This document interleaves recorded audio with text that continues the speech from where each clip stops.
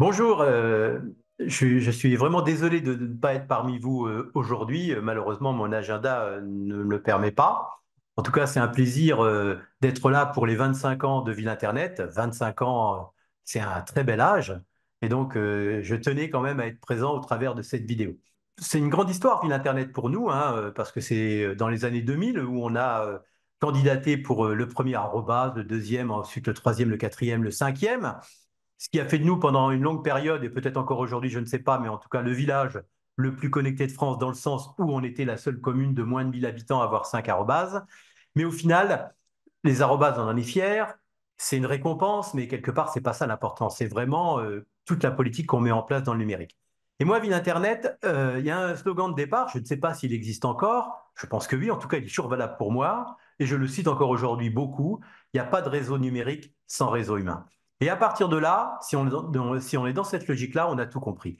Et tout ce qu'on a mis en place euh, à Bras-sur-Meuse, les nombreuses initiatives que vous pouvez consulter sur le site Ville Internet, elles ont été dans ce cadre-là, avec toute une dimension citoyenne, une, dimension de sécurisation des données, une, dimension d'accès à l'information, d'accès aux données, tout ça, tout, ça dans une vraie logique citoyenne. Donc vraiment, pour nous, ça a été un vrai apport Ville Internet, aussi par le partage des expériences des collègues hein, élus. Il y en a peut-être dans la salle, mais on s'est inspiré aussi beaucoup de collègues. C'est vraiment enrichissant, cette communauté de gens qui œuvrent dans le numérique au service de l'homme avec un grand H. En tout cas, euh, on a été très heureux de collaborer avec Ville Internet et on le continue encore aujourd'hui pendant ces 25 ans.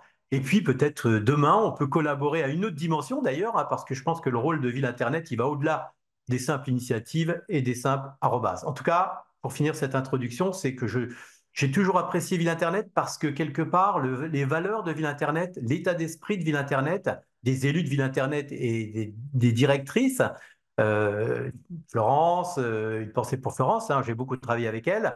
Euh, derrière, on est complètement en phase et c'est ce qui me va vraiment bien dans Ville Internet. Cette philosophie de, de Ville Internet, elle me suit, elle m'a suivi dans mes différents mandats. Je suis entre autres président du PETR du Pays de Verdun et euh, vice-président du département de la Meuse. Quelque part, on est à la croisée des chemins. Les évolutions sociétales, euh, liées notamment à un besoin de qualité de vie, des évolutions comportementales euh, sur le sens du travail, sur plein de choses, notamment tout ça accéléré par, par le Covid, hein, même si c'était prégnant déjà depuis quelques années, mais en tout cas, tout ça a été accéléré par le Covid.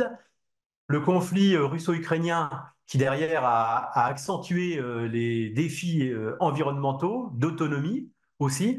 Et donc tout ça fait aujourd'hui, malheureusement, c'est des, tristes épisodes euh, quelque part, mais ça, en fait une opportunité pour les territoires ruraux.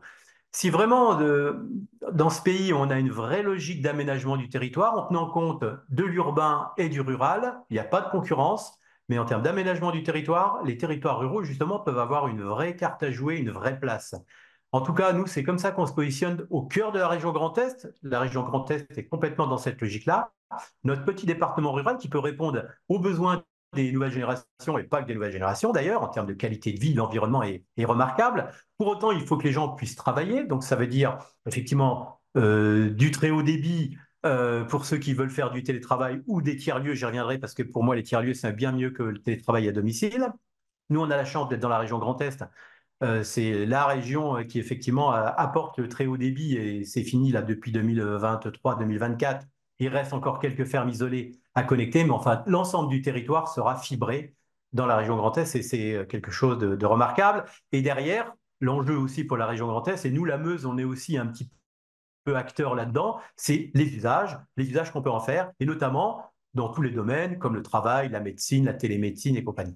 Et je disais qu'effectivement, on a une carte à jouer parce qu'on a un territoire qui est en capacité d'accueillir des nouvelles populations, en tout cas, ou de maintenir nos populations, pour ceux qui peuvent travailler euh, télétravailler, bah, c'est pas simple. En plus, on est à 58 minutes de Paris, on est à 50 minutes de Strasbourg. Donc, ça veut dire qu'on pourrait très bien travailler, euh, télétravailler deux, deux, jours en Meuse et euh, travailler trois jours à Paris ou ailleurs.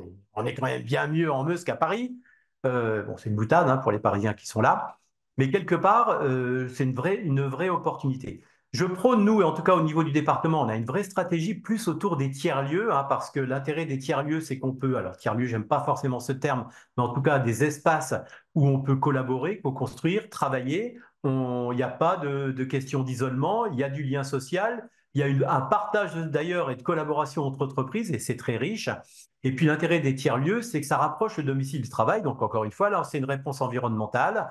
Euh, et notamment, tout ça passe aussi par un plan de mobilité très ambitieux. Donc voilà, on est vraiment à la croisée des chemins. En tout cas, c'est ce qu'on est en train de mettre en place. On l'a fait au PETR avec de nombreuses actions euh, qui ont été euh, soutenues par le PETR du Pays de Verdun autour de ces questions-là. Et là, on est maintenant à une échelle beaucoup plus, beaucoup plus large au niveau du département pour essayer de mettre en place cette stratégie. Parce que le département, en tant que tel, là, je parle de la Meuse, mais c'est valable pour tous les départements, même si le département n'a pas toutes les compétences, pour, pour, autant, il a la, légitimité territoriale. C'est vraiment pour moi une très bonne échelle pour porter des politiques co-construites d'ailleurs avec la région, avec l'État, avec l'Europe, pourquoi pas, au service des habitants et des citoyens. Et c'est pareil dans ce, dans ce qu'on dit millefeuille territorial, je crois vraiment, effectivement, la région, c'est hyper important. Le département a encore son rôle, au-delà du domaine social, euh, qui est quand même une des compétences importantes du département. Il y a aussi la commune. Et la commune, pour moi, je suis un fervent défenseur de la commune, même si je suis plus maire, c'est l'échelon de proximité par excellence. Et notamment, si je reprends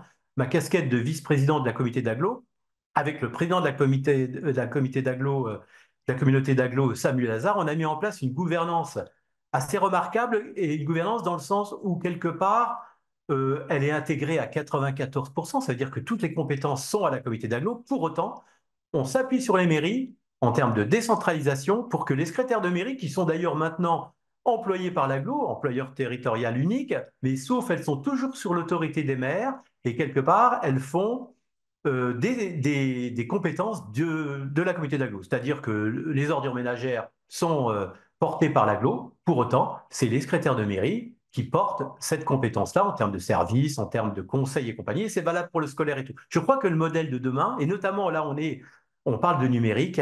Je reviens tout, euh, au slogan de Ville Internet qui m'a marqué le plus. Pas de réseau numérique sans réseau humain. Dans ce monde hyper dématérialisé, je crois qu'il n'y a rien de plus important que l'humain. Et l'échelon communal est vraiment l'échelon de proximité par excellence l'échelon départemental et l'échelon géographique par excellence pour être le relais auprès des mairies, auprès des citoyens, des politiques publiques, qu'elles soient régionales ou d'État. Voilà un petit peu rapidement, en deux mots, la stratégie euh, du département et du PTR du Pays de Verdun. En tout cas, moi, je, je pense que vraiment, Ville Internet, pour moi, ce qui m'apporte le plus, c'est la neutralité. C'est une association, certes, mais j'ai confiance. Et on peut avoir confiance en, Ville Internet. Vous voyez, on a organisé en 2016, ça fait déjà huit ans, avec Florence, euh, les assises territoriales euh, de l'identité numérique du citoyen. Et bien, quelque part, il y a eu pas mal d'élus qui étaient là et la parole, la parole porte de Ville Internet, notamment par cette neutralité. D'ailleurs, c'est une anecdote, mais quelque part, on a, on a pu, on a présenté à cette occasion, je me souviens, le dispositif France Connect. C'était au début, hein, eh ben, je peux vous dire qu'aujourd'hui, ne serait-ce que ces, assises-là en 2016, ça a porté ses fruits parce que ça a été sur le territoire et il y a énormément de gens maintenant qui utilisent France Connect, en tout cas localement, du fait de, ces assises. Donc, ce que je veux dire par là, moi, ce que j'attendrais au-delà de tout ce que fait Ville Internet, c'est vraiment cette ingénierie neutre. Euh, et il y a plein de domaines. On va parler prochainement de, de, enfin, on y en parle beaucoup maintenant. C'est un domaine dans lequel je suis assez impliqué. L'intelligence artificielle, la sécurisation des données. Il y a vraiment vraiment plein de choses et plein de thématiques. Et moi, j'ai besoin de Ville Internet quelque part pour nous accompagner, les élus locaux, et faire aussi de l'acculturation de tous ces changements profonds euh, qui, vont, qui se passent et, qui vont se passer dans les prochaines années. Et la Ville Internet a vraiment sa place parce qu'encore une fois, c'est une association qui respire la neutralité. En tout cas, c'est comme ça que je le sens. Voilà ce que je voulais vous dire rapidement. Euh, après, j'ai peut-être été trop long. En tout cas, encore une fois, je souhaite un bel et un bon anniversaire à Ville Internet, à tous les élus, à tous les, responsables de Ville Internet, à toutes celles et ceux qui euh, œuvrent pour cette belle association et je lui souhaite encore de belles années devant, de rêve.